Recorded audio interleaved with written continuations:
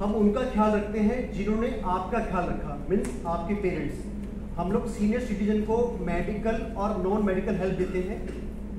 आ, मैं आपको medical help बताता हूँ। हम्म। इंजेक्शन से लेके आईसीयू तक हम लोग घर पे डेवलप करते हैं। और हमारे जो मैक्सिमम क्लाइंट होते हैं वो आ, आपका डेमेंशिया और पार्किंसन के पेशेंट होते हैं। पिछले 11 साल से काम कर रहे हैं 2000 से ज़्यादा फैमिली को।